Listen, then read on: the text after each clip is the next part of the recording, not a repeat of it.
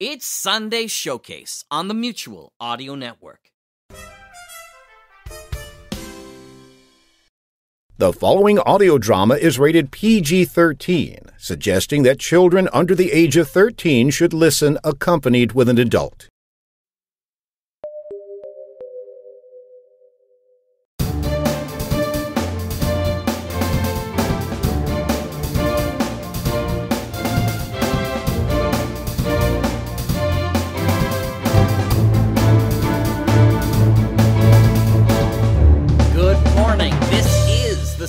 Society, episode 699.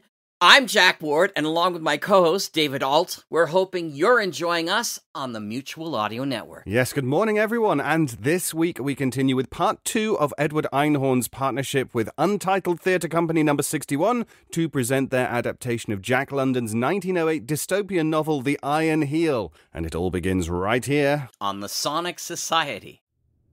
You are listening to Untitled Theatre Company number 61's adaptation of Jack London's The Iron Heel, a three part audio drama recorded remotely.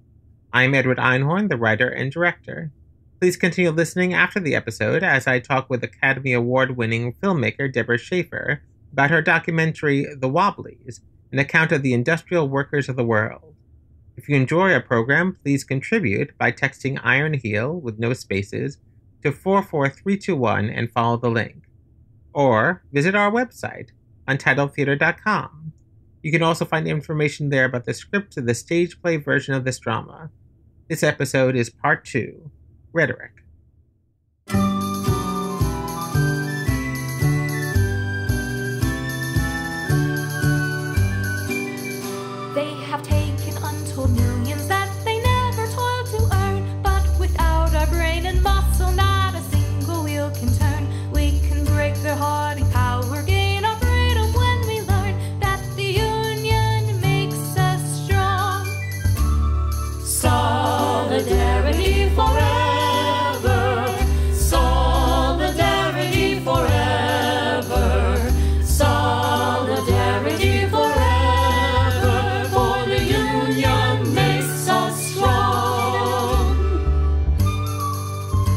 My dear comrades, welcome again to the Reenactment Archive, an audio archive of historical reenactments of the moments that led to today's Brotherhood of Man. I am Antonia Meredith, an historian and propagandist, and I will be providing the historical background to the story throughout. We've reached part two of our story about the Iron Heel as told in the diary of Avis Everhard. In the last episode, Avis met a young, dashing socialist by the name of Ernest Everhard, played by Jack London. I also wrote the adaptation. Yes, I, I was about to mention. Anyway, we just came back from a break and we're about ready to go. Um, where's Anna? Anna? The young woman who was going to play the prostitute? Oh, I'm sorry. I forgot to mention. She asked me to tell you that she wasn't feeling well. Oh. Well, uh, this is one of the Wobblies, by the way. They are providing the music. I realize I don't know your name. Oh, Ilana, Alana, would you like to play the part? I'm more of a singer than an actor. Yeah, I see. Well, I will stand in then, I suppose. Do you act? Not since I performed a play at my communal education center when I was just a girl, but we all have to pitch in a little sometimes, I suppose. Yeah, it's just a small part of the script. We can skip it. No, no, it will be fun. Anyway, let's get back to our story. And where were we? Uh, the Philomaths Club. Oh, yes. Ernest had just proposed to Avis, and they were about to visit the Philomaths Club so they could tell her father the news. Thanks to Bishop Morehouse, the club had a home in the local cathedral. Let me say a word about the Philomaths Club. In the early 20th century, it was common for men to belong to clubs. Some were created for a specific purpose, to join the like minded. Some existed merely for the camaraderie. The Philomaths Club was a mixture of the two. It was created to be a forum in which men discussed great ideas. Over time, like many such clubs, it became a bastion for the elite, a place barred to women and the working class so that the men who ruled could sustain their ruling status. This new purpose was never stated explicitly, but it became clear as the membership grew to include prominent members of the oligarchy, including Mr. Wickson of Sierra Mills. Yet a vestige of its original purpose remained. Ernest, how good of you to come! Thank you. Bishop Morehouse, isn't it? Yes, that's right. I am most pleased to see you. Are you? Of course. In fact, as you will see, my whole address this evening has been partly inspired by our discussion. Who is this man?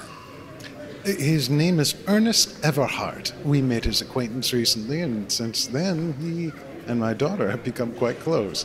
I must say, I'm surprised to see you both here. Everhard. I've heard that name before.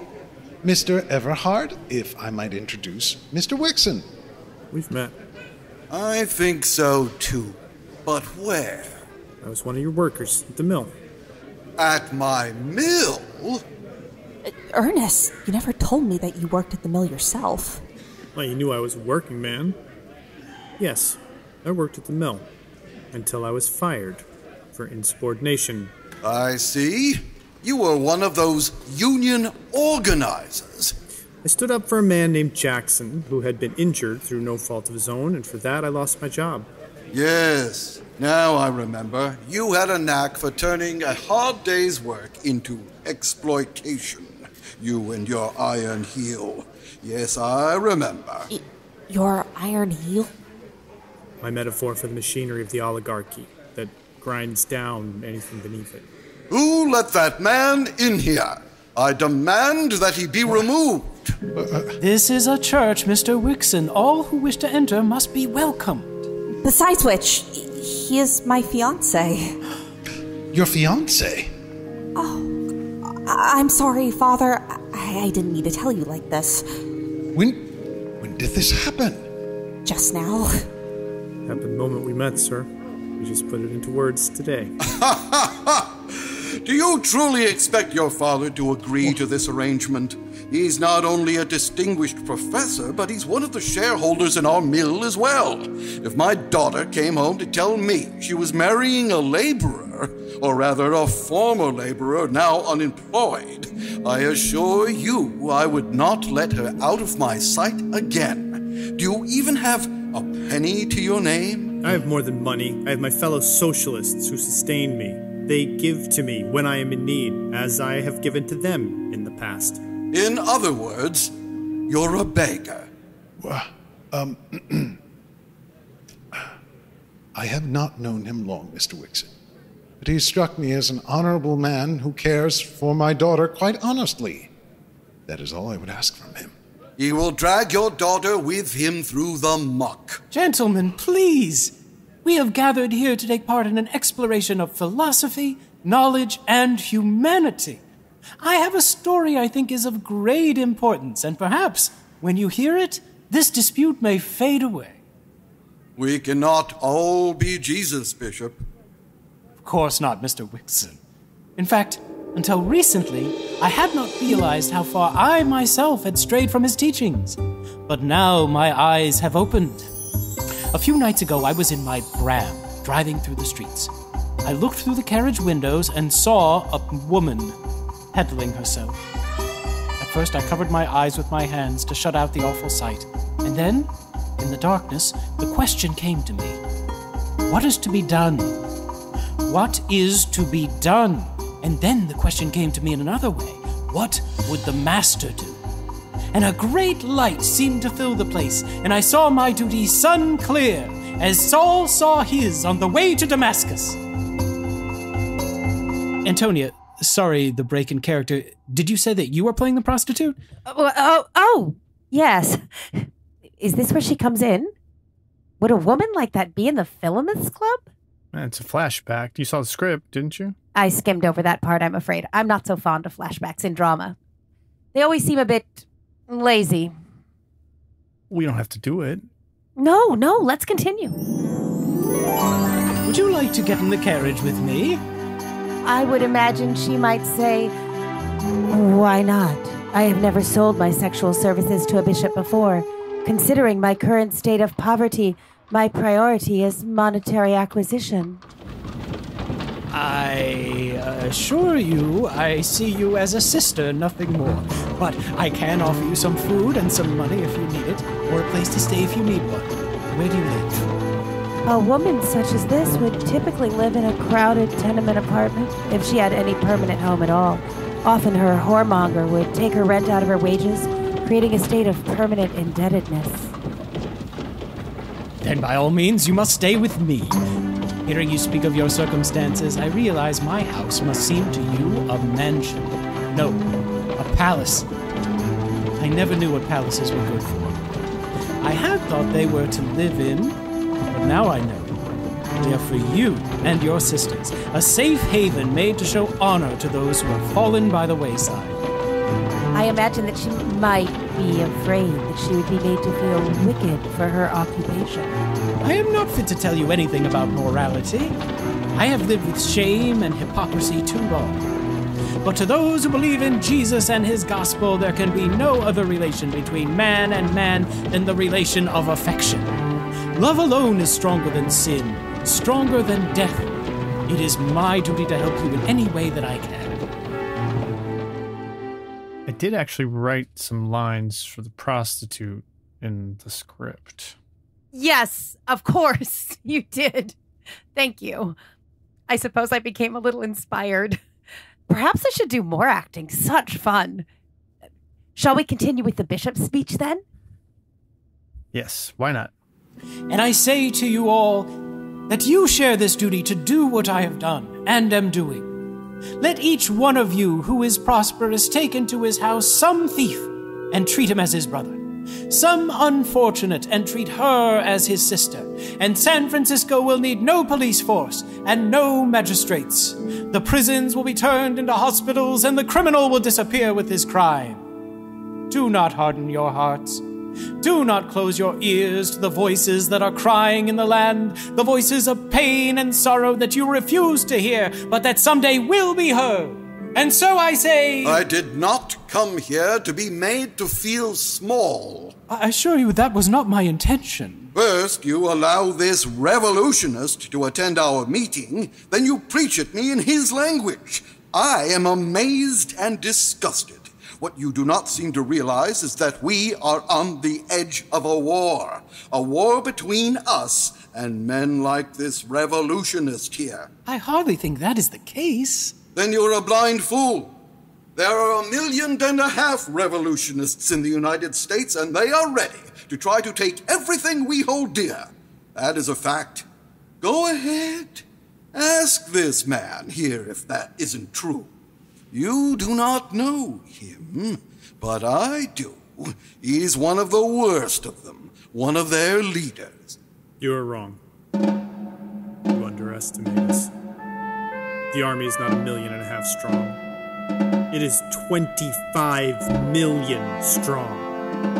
We are going to take your governments, your palaces, and all your purpled ease away from you. And in that day, you shall work for your bread, even as the peasant in the field, or, or, the starved and runty clerk in your metropolises. Why do you think the Manager Society did not make public the census figures of 1910?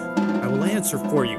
They were afraid to admit how many millions of people in the United States today live in abject poverty, without food, without adequate shelter. The revolution is gathering. We want in our hands the reins of power and the destiny of mankind. Here are hands. They are strong hands. When you reach out your vaunted strong hands for our palaces and purpled ease, we will show you what strength is. In roar of shell and shrapnel and in whine of machine guns will our answer be couched. We will grind you revolutionists down under our heel and we shall walk upon your faces. The world is ours. We are its lords, and ours it shall remain. And as for the host of labor, it has been in the dirt since history began, and in the dirt it shall remain so long as I and mine and those that come after us have the power. There is the word, it is the king of words. Power not God, not mammon, but power. Pour it over your tongue until it tingles with it. Power. I agree with you. I agree with all that you have said. Power will be the arbiter, as it has always been the arbiter. It is a struggle of classes. Just as your class dragged down the old feudal nobility, so it shall be dragged down by my class, the working class. If you will read your biology and your sociology as clearly as you do your history, you will see that this end I have described is inevitable. It does not matter whether it is in one year, ten, or a thousand. Your class shall be dragged down, and it shall be done by power. We of the labor hosts have conned that word over till our minds are all a tingle with it. Power is a kingly word. Ah, I'm sorry, Jack. I'm afraid I'm the one breaking character now, but this does feel a little extreme. It's great fun to play a character as wicked as Wickson, of course, but was he so blatant in what he said? We will grind you under our heel and all that? According to Antonia's research, that's what they sounded like. Historically speaking, Wickson knew that his power as a minor oligarch was dependent on his oppression of the working class. But even if that was how he felt, would he have stated it like that? I've never met a man like that, so it's hard to say. It seems quite accurate to me, Jack. One of my favorite passages, in fact. Shall we continue? So ended the night with the Philomaths. It was to be a foreshadowing of worse, much worse to come. Disaster approached on padded feet. Two days after that evening, it was reported that Bishop Morehouse had gone away on a vacation to recover from the effects of overwork. It was whispered that his work had led to a nervous collapse or maybe insanity, though I had seen no signs of it. Then, my father received news from his university that set him into a fury. Oh, I had a luncheon with the university president. I was sent for. And you were reprimanded for your association with me. How did you guess, Ernest? It is nothing to what will come. There was gossip about Avis being seen in public with so notorious a character as you, and he said it was not in keeping with university tone and dignity. Not that he personally objected, oh no, that there was talk and that I would understand. Hmm, I made it pretty awkward for him, and he could only go on repeating himself and telling me how much he honored me as a scientist. Wasn't an agreeable task for him. I could see he didn't like it. Dude's not a free agent. Hmm. The leg bar is not always worn graciously. African slaves were so manacled. Also criminals. It was not until the coming of our modern socialist society that the leg bar passed out of use. He offered me a two years vacation on full pay in Europe for recreation and research. Of course, I couldn't accept it under the circumstances. Hmm. There's more behind this than a mere university ideal. Somebody's put pressure on him. Do you think so? Man, you heard Wickson just the other day. There's a shadow of something colossal and menacing that even now is beginning to fall across the land. Call it the shadow of an oligarchy, if you will. Huh.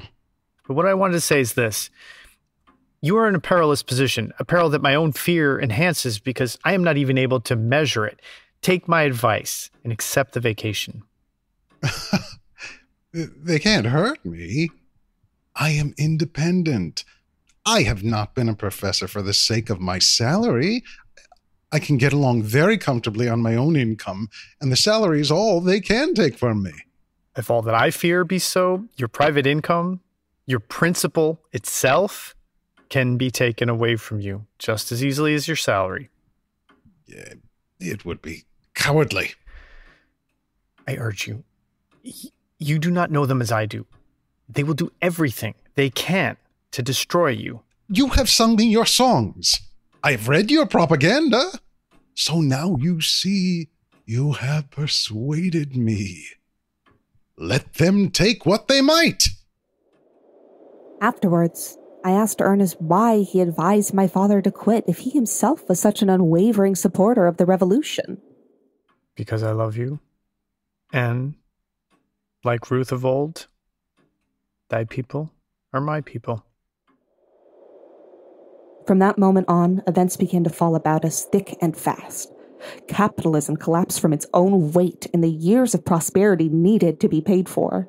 Suddenly, all markets were glutted.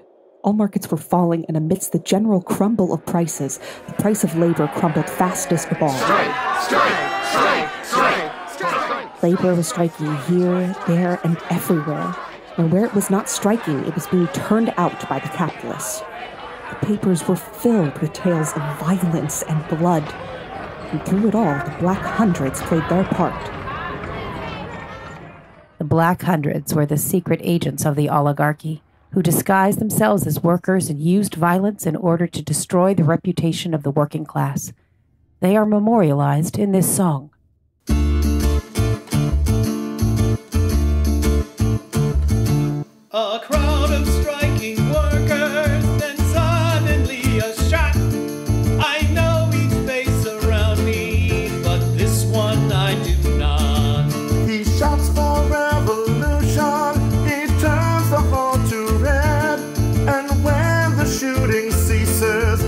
100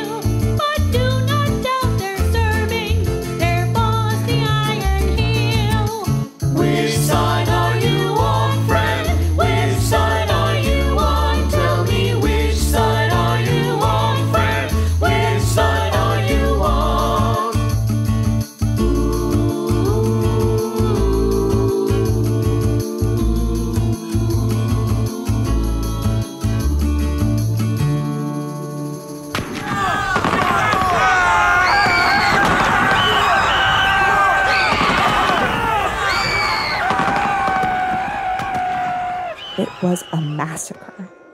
Never had labor received such an all around beating. The great captains of industry, the oligarchs, had for the first time thrown their full weight into the breach. Labor was bloody and sullen, crushed. Yet its defeat did not put an end to the hard times. The banks themselves, constituting one of the most important forces of the oligarchy, continued to call in credits. The Wall Street Group turned the stock market into a maelstrom where the values of all the stock crumpled away almost to nothingness. Wall Street was a street in ancient New York where the irrational organization of society permitted underhanded manipulation of all the wealth in the country. As the stocks plummeted, the fortunes of the middle class plummeted as well. The oligarchs alone knew how to reap the whirlwind and make a profit off of it. And such profits, colossal profits. They swiftly plundered the wrecks that floated about them as if they had anticipated the storm all along. Even Ernest was astounded at the quickness. It's no use. We're beaten. The Iron Heel is triumphant. Wickson was right. We shall be robbed of our few remaining liberties. The Iron Heel will walk upon our faces. Nothing remains but a bloody revolution of the working class. But of course, we will win, but I shudder to think of it. Ernest took me to a meeting with his fellow socialists in a basement underneath the mill. His comrades insisted that victory could be gained through the elections. You must run for Congress, Ernest. The majority is with us. If enough people sympathetic with our cause run for Congress, we can turn the tide. And when they take me out of Congress and put me against a wall and blow my brains out, what then? Then we, rise in might. Then you'll welter in your gore. I've heard that same song sung by the middle class. Where now is their might? It is either you or Wickson. Wickson? Didn't you hear? He announced his candidacy just yesterday. Of course. It is their way of operation control the government and thereby control the worker. But Wickson, he is the worst. The, the very worst of them. Yeah, very well. I fear it is a helpless cause, but I will run. What will that mean for you, Ernest? What will that mean for us? Well, it means we must marry immediately before the tide of events pulls us apart. I still insisted that I wanted Bishop Morehouse to perform the ceremony, and no other. Ernest seemed quietly doubtful, but did not try to stop me from visiting the bishop. I have put my home on the market. But it is so beautiful. And what of the woman you were housing there? Yes, it is true, but there are so many. I could do so much more, much more than what I am doing. The house, the paintings, the library, I could be using that money to feed someone. You must not ruin yourself. The potatoes, they are precious. Is that a bag of them I see? There is an old woman. I must take it to her at once. She is suffering from the want of it. I must go at once. You understand? Then I will return. I promise you. But, Bishop, I have come to talk to you about my marriage. An old German woman, 64. Her hands are misshapen from rheumatism, but all she does is sew from morning till night. Six cents per pair of trousers. Each trouser takes two hours. Her only daughter died when a boiler exploded in the factory. No one to take care of her but me.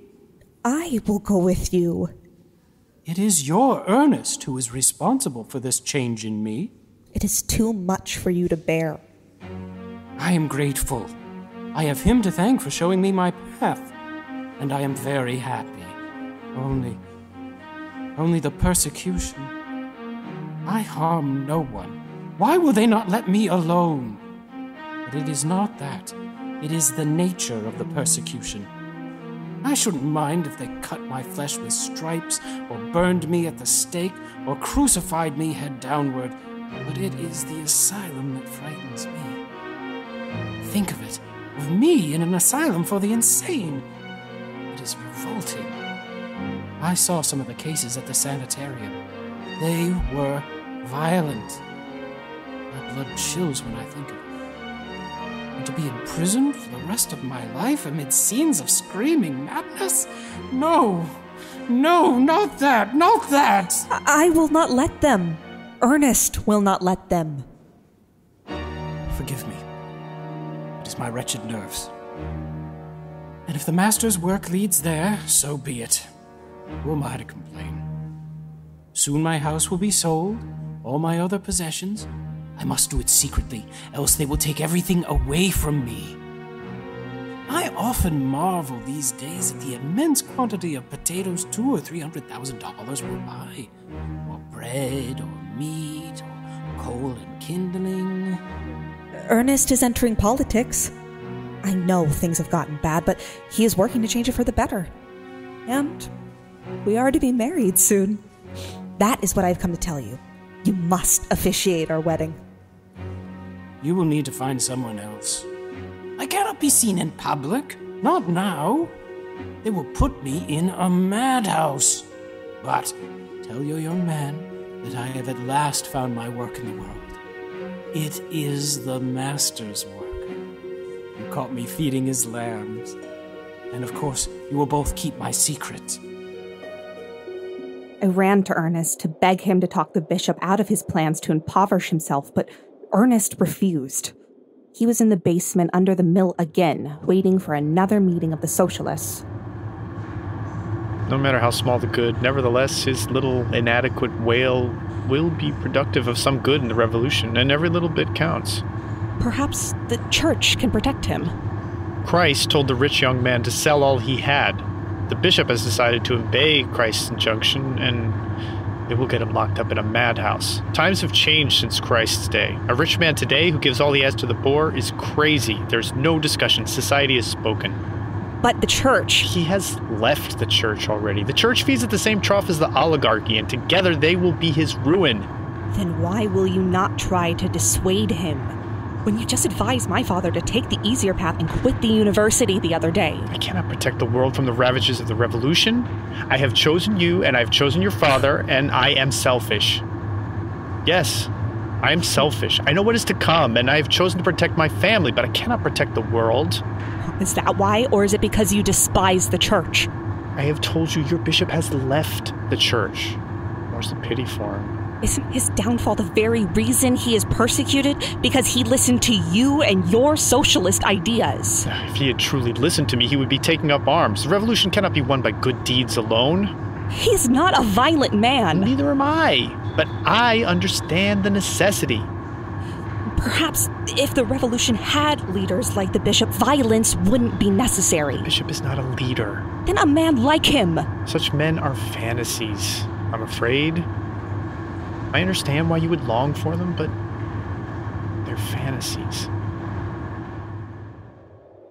A week later, we were married by a man I'd never seen before in my life and would never see after. Only my father attended. I have a donation for your new life towards the cause. I've sold the house. Most of my money disappeared along with the stocks, just like everyone else. No matter, I am happy for you and for myself. I have my freedom. My beliefs are my own. No man can change that. A few days after that, I read that the bishop had been committed to the Napa Asylum. In vain, we tried to see him. Later, we learned that he had been transferred to Stockton, to Agnews, and then all the way off to Chicago. After that, we heard no more. In the meantime, events conspired in the socialist favor for once. Hearst has gone bankrupt. William Randolph Hearst was a young California millionaire who became the most powerful newspaper owner in the country. His newspapers were published in all the large cities, and they appealed to the perishing middle class and to the proletariat. So large was his following that he managed to take possession of the empty shell of the old Democratic Party. He occupied an anomalous position, preaching an emasculated socialism combined with a nondescript sort of petty bourgeois capitalism. It was oil and water, and there was no hope for him, though for a short period he was a source of serious apprehension to the plutocrats. Bankrupt? How? By fiat of the plutocrats. They have colluded to stop advertising in his papers and have driven him out of business. The Democrats do not know how to run a party without the crutch of his millions. The perfect opening. We know how to run a campaign without depending on Hearst. And what better time than now when the workers are crying for an authentic voice? Your voice. Our voice. It is the end of capitalism. It is the end of the Democratic Party, perhaps, but the machine of capitalism will not be broken so easily. We must spread our propaganda. The time for newspapers is over. It will take an army of us, mouth to mouth. We have an army. And we must organize a public debate. Wickson will never agree to it. Well, we must give him no choice. We must make the people demand it. Do you think it's possible? If we are to have any chance of winning, we must be heard. It is time to call for a general strike.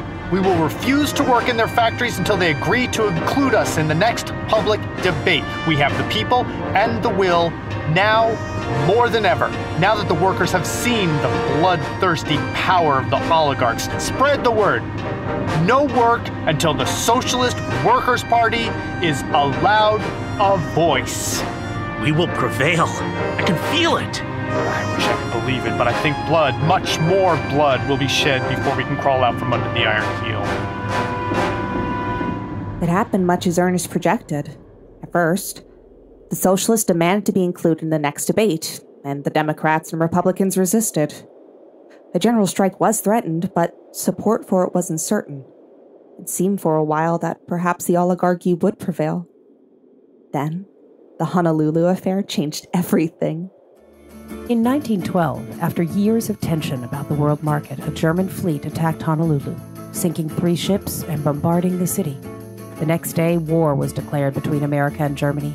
Within an hour, the call for a general strike was finally heeded, not only by the American socialists, but by the German socialists as well. Without the support of the workers, The machinery of war quickly ground to a halt. The women proved to be the strongest promoters of the strike. They set their faces against the war. They did not want their men to go forth and die. Then, also, the idea of the general strike caught the mood of the people. It struck their sense of humor. The idea was infectious. The children struck in all the schools, and such teachers as came went home again from deserted classrooms. The general strike took the form of a great national picnic. For a week, it was as if the world of the oligarchy had ceased to exist. And for once, Ernest was optimistic. Perhaps I was wrong. Perhaps we won't need bloodshed after all. They've agreed to our terms. They will allow you to participate in the next debate. And not only you, the Socialist Workers' Party candidates have been invited to take part in debates across the country. One last ditch effort to confront us and turn the world back towards war, no doubt. they underestimate you. No, they underestimate the workers. They will not be swayed by rhetoric and fear mongering. So, I will be debating Wickson directly. The Democrat will be there too, of course, uh, James Roberts. Weak man, and a weaker candidate.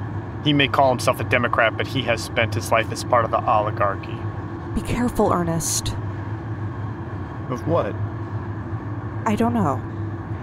Didn't you tell me that the oligarchy will not die so easily? Of course not. This is just one of a number of blows. But the general strike has left them reeling. They never anticipated our power. This leads us to one of my favorite songs, a song that inspired Ernest, Avis, and all the revolutionaries of that time. Imagine yourself with them, singing along. In fact, if you want, you can sing along with the Wobblies right now. For those of you who want to sing along, listen for the lines When We Stand and Hand in Hand. We'll sing it first, and you'll sing it after. That sounds perfect, Alana. I'll do it too. There is power, there is power in a band of working folk when they stand,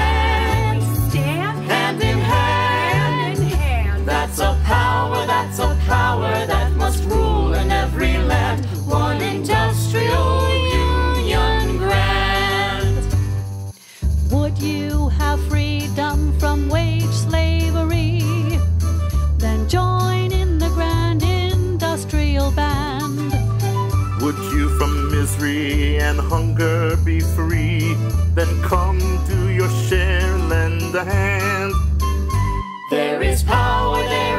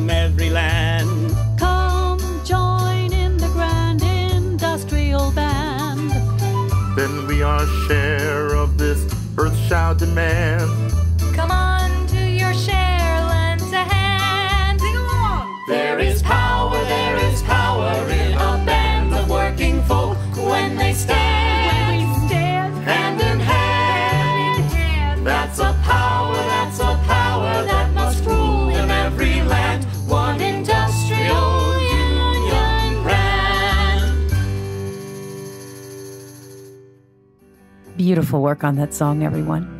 And it looks like it's time for one more break. I would love to have a little more of that bread. It was delicious. I think the singers baked it themselves. Didn't you, Alana? We did. It's good to have someone to share it with. Mm, There's, some, there's, oh, there's just one more part to the story. Yes. Though I'm afraid it's the most harrowing part. We are coming to a very dark point in history. The Emergence of the Iron Heel. It's delicious. Thank you. Delicious indeed. Until the next recording, thank you for listening to The Iron Heel, part of the Reenactment Archive. Join us again soon. That ends episode two. Thank you for listening. I'd like to share with you now an excerpt from my interview with Deborah Shaffer. The full interview will be released separately at a later date. Please remember to leave a review and rating if you enjoyed this episode. Hello, I'm Edward Einhorn, the writer and director of this adaptation of The Iron Heel, and I will be talking with Deborah Shaffer about her film The Wobblies, her documentary about the industrial workers of the world, which originally premiered at the New York Film Festival in 1979 and is now having a digital remake. Deborah is an Academy Award winning filmmaker who began making social issue documentaries as a member of the Newsreel Collective in the 70s. She co founded Pandora Films, one of the first women's film companies, which produced several shorts. After the Wobblies, she focused on human rights in Central America and Latin America, directing many films, including Witness to War, Dr. Charlie Clements, which won the Academy Award for Short Documentary in 1985, and Fire from the Mountain, and Dance of Hope, which both played at the Sundance Film Festival. She directed one of the first post September 11th films, From the Ashes 10 Artists, followed by From the Ashes Epilogue, which premiered at the Sundance and Tribeca Film Festivals. She is the executive producer of the Academy Award nominated short Asylum and has directed numerous acclaimed public television programs on women and the art. She directed and produced To Be Heard, which won awards at numerous festivals and aired nationwide at PBS. She has also been awarded a Guggenheim Fellowship and the Irene Diamond Lifetime Achievement Award by the Human Rights Watch Film Festival. Let's start off just by defining the Wobblies for those of our listeners who, who have not heard of them before.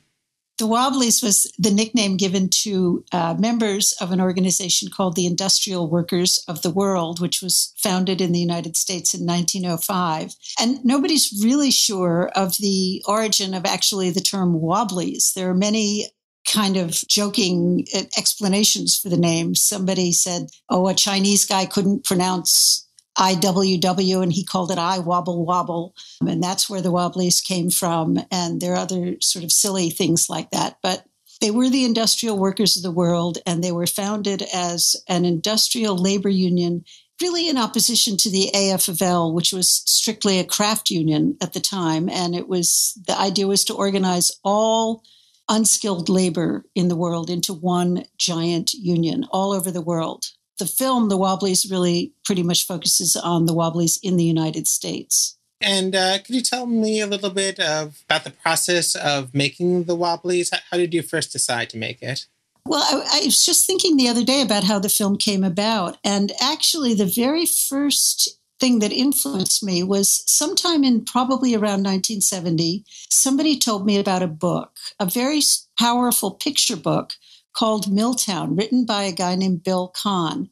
And the book was written in the 50s and is a picture book about the strike in Lawrence, Massachusetts in 1912, which was one of the first giant strikes that the Wobblies helped organize and helped win. And this was a book that was published in 1954 and was probably banned for being communist propaganda. And in the 70s, when I learned that, I was shocked that in the United States, a book had been banned.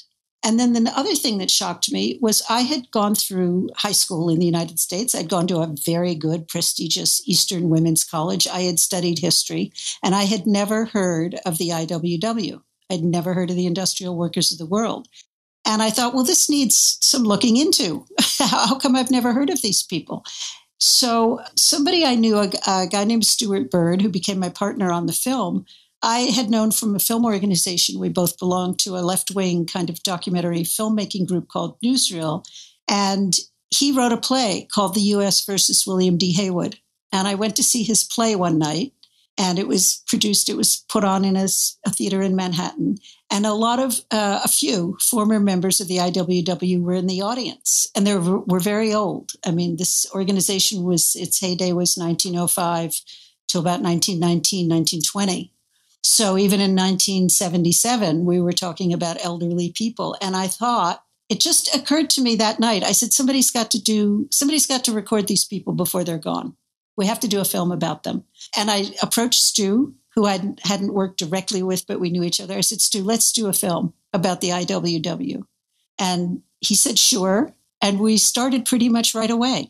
We went and, and we started, uh, we did our first interview, I think with somebody who had been at the play that night, a woman named Sophie Cohen, who at the time lived in Liberty, New York. And she had worked in the mills in Paterson, New Jersey. Yeah, we were not sure when we started the film how many surviving members of the IWW we would be able to find. We were really concerned about that. And so we started right away just putting the word out. There were a few people had contacted Stu Bird because they'd seen his film, uh, his play, sorry, and we were able to interview them. And we just, we kind of started, this is in the days before the internet. We didn't have uh, any way to put the word out you know, on there was no Facebook or anything like that. So we did things. For instance, we were looking for a black worker in from the port in Philadelphia. We created a leaflet that we handed out on the docks in Philadelphia, physically in person, saying, "Do you know anybody who was a member of the IWW?" We asked at senior citizen centers. We asked in churches. And finally, somebody who knew somebody who knew somebody at a church introduced us to James Fair, who's the black longshoreman who is interviewed in the film. That was one of our more extreme searches. But we just we put things like the equivalent of personal ads in the nation magazine in other newspapers around the country in different areas because we knew that the wobblies had been active all over the us and that we were going to cover the textile mills in the east the migratory workers in the Midwest, the lumberjacks in the West, the miners in the West. We knew we had to have a big geographic reach for the film. So we just we put notices all over the place and eventually people started coming to us too. Somebody read our notice somewhere and called and said, "You know, my grandfather was in the IWW. That's Sam Krieger who appears in the film." I mean, in the end we found more than we could actually use, but we weren't sure how many we would find. And I'm sure they've all, I have not been actually in touch with every single one, but I'm pretty certain that everybody by now would. We filmed th- those interviews in 1978, so they've got to all be gone. Yeah, it's a it's a, an amazing archive.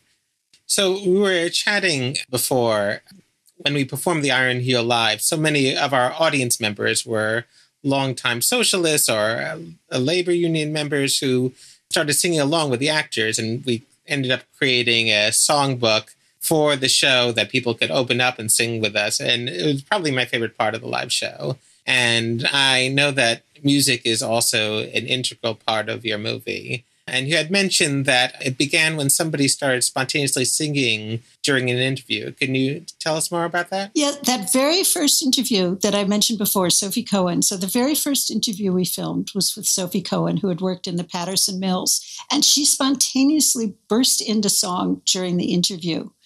And it's in the film. And it was such a wonderful moment that we then started asking people as we were interviewing them we said what song do you remember? Can you sing a song? And and music was singing was a major organizing tactic of the IWW they had what they called the little red songbook. I actually have a copy of it in my hand. It's this tiny little pamphlet sized skinny book with a red cover that they when they signed somebody up and gave them a, a, membership card in the iww they also got a copy of the songbook and the songs were mostly based on popular songs of the day tunes that people knew folk songs religious songs hymns but with words that were rewritten by somebody in the iww to be more in line with you know their principles and their organizing platform. So, like one of their famous songs, which is in the film, is called "The Preacher and the Slave," and it's uh, it's a song that makes fun of the Salvation Army because the IWW was always competing with the Salvation Army for the soapbox on the corner. So, like, it starts with the lyric Long haired preachers come out every night, try to tell you what's wrong and what's right. And when they get all your coin on the drum, they'll tell you when you're on the bum you know, you will eat by and by in that glorious land above the sky. So it's all, uh, the songs were very satirical, very funny, and very important for morale building, for One of the favorites that people sang a lot was Hold the Fort for We Are Coming, Union Men Be Strong, Solidarity Forever. They had a version of the Internationale with their own ending. Rebel Girl about Elizabeth Gurley Flynn is a beautiful song. And I'm sure people have heard of Joe Hill because Joan Baez immortalized him in her song, I Dreamed I Saw Joe Hill Last Night. Joe Hill was a famous member of the IWW, and he wrote many of the songs. Well, thank you so much. Uh, and th- thank you for being part of this and, and uh, giving us your time.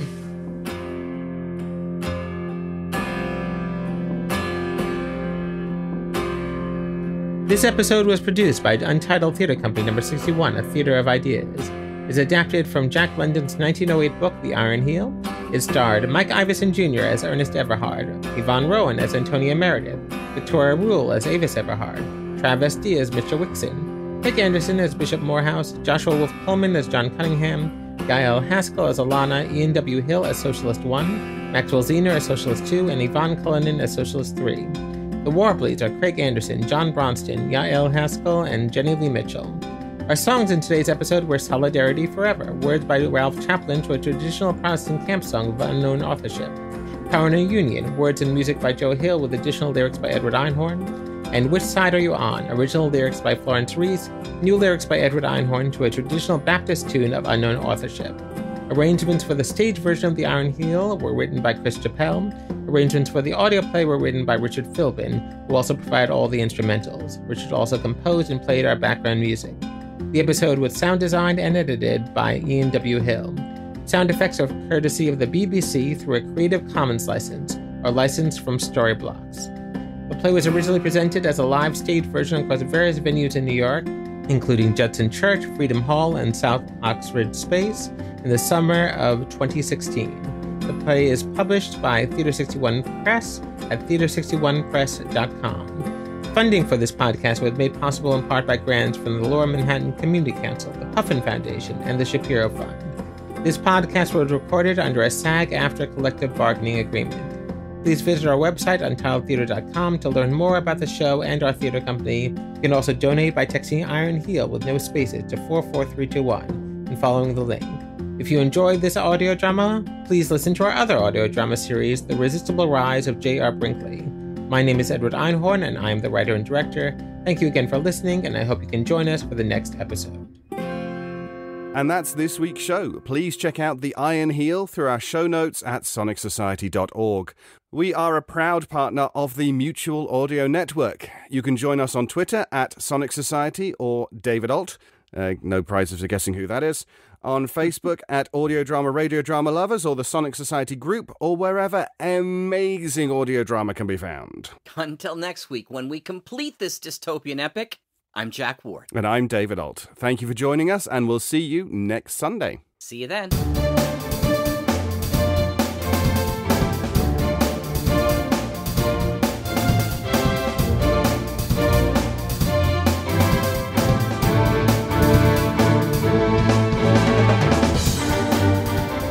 The Sonic Society is written and produced weekly by Jack J. Ward and David Ault, with original music by Sharon B. at sharonb.com. All features, interviews, and audio drama shorts are owned completely by their originators and provided to the Sonic Society by Creative Commons licensing. The Society itself originates from Halifax, Nova Scotia, Canada. Thanks for listening.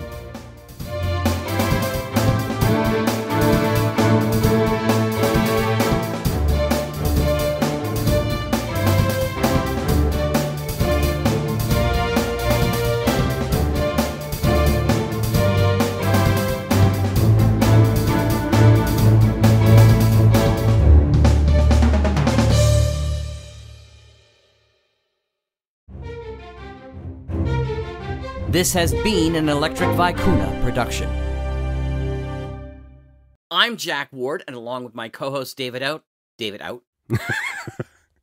The following message is for podcasters only. If you are a listener and not a podcaster, you are permitted to cover your ears and say la la la la la for the next 30 seconds or so. Okay. Podcasters, if you create audio drama and or comedy, you are invited to join the brand new Mutual Audio Network. Not only will your productions be showcased in a brand new Netflix-ish type of distribution, but you'll also share in resources from music to sound effects to voices to people saying la la la la la. For details, visit mutualaudionetwork.com or inquire at mutualaudio at gmail.com. You can stop la-laing now. What? Can't hear you. Got my ears covered. La la